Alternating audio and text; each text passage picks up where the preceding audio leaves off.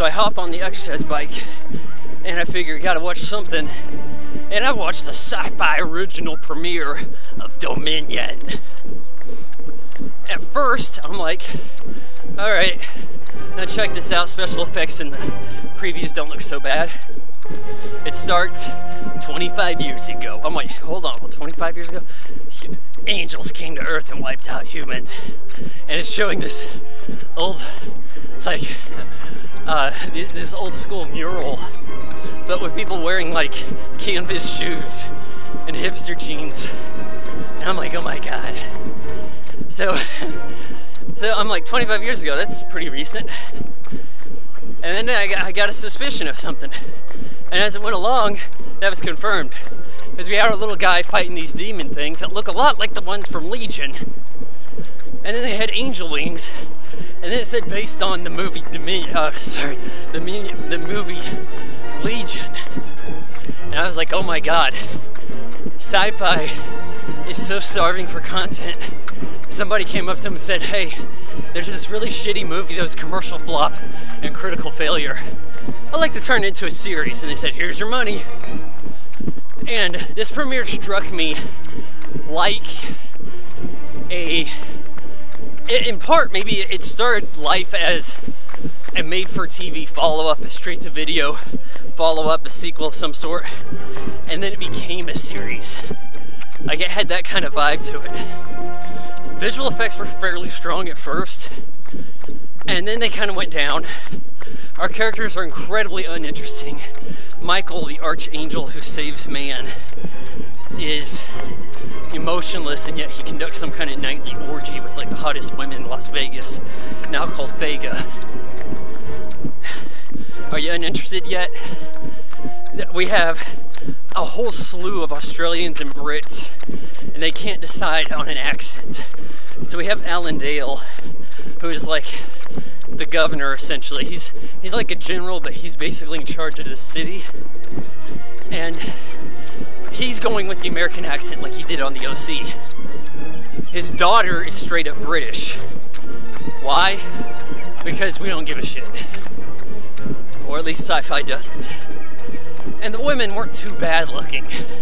And you know that's a prerequisite these days, right? Just to get anybody's attention. Don't kill the hot chick in the premiere. Well, everybody's been recast since the movie. Gabriel's hiding out in some mountain like Wicked Witch of the West with flying monkeys swarming up, ready to attack Vega. What do they do? Just fly over the shield lights? Like, pretty crappy system. I don't know how they held that that long. They attack the generator, whatever. Protagonist from the movie gets knifed and dies. His name's Jeep. I don't even recall that because that movie was so heinous. My mind blocked it out of my memory so I wouldn't have to relive traumatic events. I think Dennis Quaid was in it. And the kid from Tokyo Drift. So, then we have our big reveal that the chosen one is the guy we've been watching the whole time. Can't even remember his name, damn it. I know he's in love with like the governor dude's general whatever's daughter. And of course they have to call it House. So it's like House Riesen. Then we have people walking around like they're straight out of Dune. What they do is they took a movie that was the Terminator 2 ripoff with the big warriors battling over the child of the future.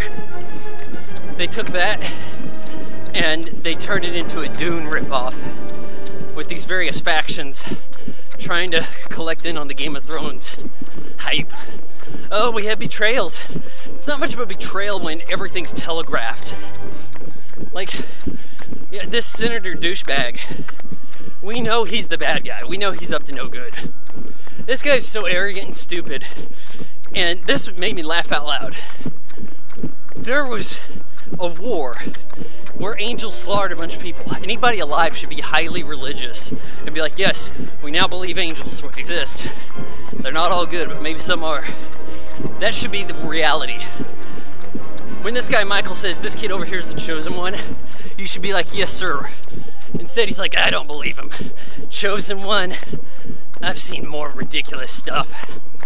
You know, the evidence is pointing towards this being factual, and the guy's like, Ma, that's a bunch of malarkey. I don't believe you. These people need me as a leader. Screw this chosen one shit. Yeah, normally I, I don't like the chosen one diatribe, but I'll tell you, this guy should have been eating that shit up. Hell no. We got people fighting alongside angels, and they're like, I don't believe in Jesus.